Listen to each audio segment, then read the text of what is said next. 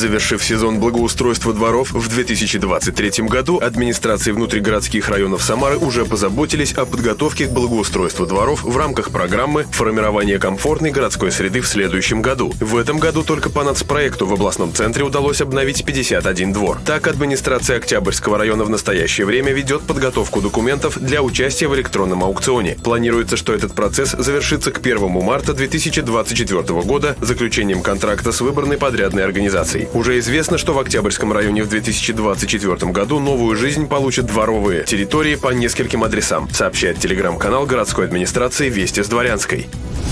Телеграм-канал Департамента опеки, попечительства и соцподдержки администрации Самары информирует о предоставлении единовременной выплаты на ремонт жилого помещения инвалидам, имеющим первую, вторую и третью степень ограничения к передвижению, проживающим в Самаре. Для оформления выплаты можно обратиться в районный отдел по предоставлению мер социальной поддержки населения. Выплата предоставляется в порядке очереди в соответствии с датой подачи заявления. Подробную консультацию о выплате можно получить по телефону 332 16 36.